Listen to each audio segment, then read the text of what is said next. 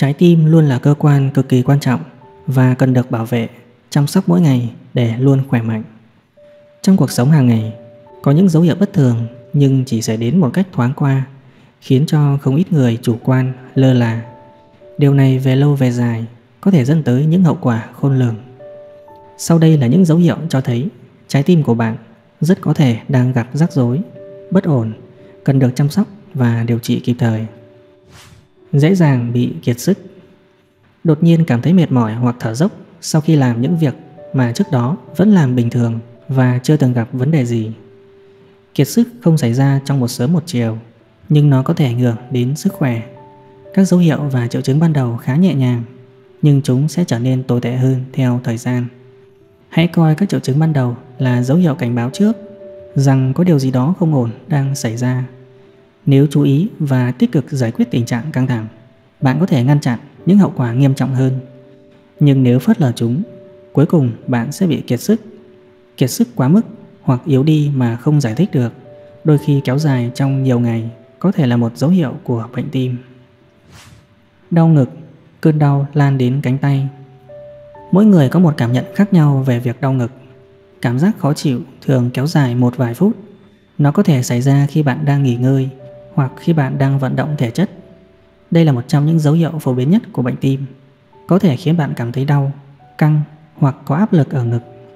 Một triệu chứng đau tim kinh điển khác là đau lan xuống bên trái cơ thể. Cơn đau có vẻ như bắt nguồn từ ngực, sau đó lan dần ra ngoài.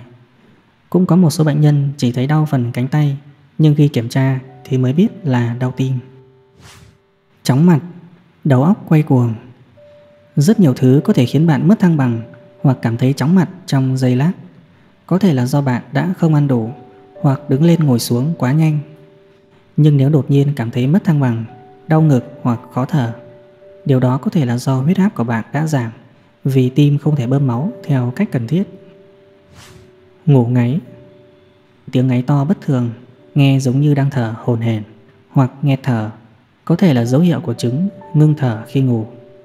Bạn có thể bị ngừng thở trong những khoảnh khắc ngắn ngủi, một vài lần trong đêm khi bạn vẫn đang ngủ.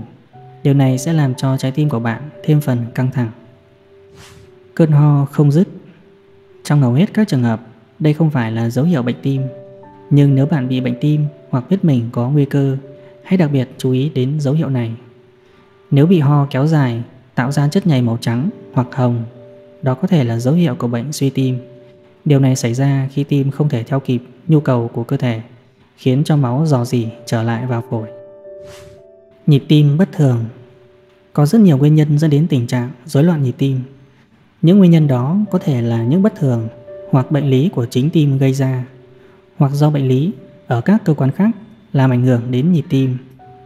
Tình trạng rối loạn nhịp có thể xảy ra từng lúc, thoáng qua chỉ vài phút hoặc ngắn hơn, xuất hiện thành từng đợt mà không có bất kỳ dấu hiệu cảnh báo nào trước đó. Tuy nhiên, rối loạn nhịp tim cũng có thể kéo dài nhiều giờ, thậm chí liên tục trong nhiều năm.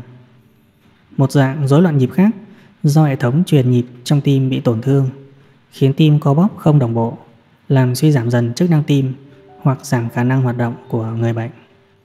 Bình thường trái tim sẽ đập nhanh hơn khi chúng ta lo lắng, phấn khích, nín thở hoặc thêm một nhịp một lần trong một khoảng thời gian ngắn.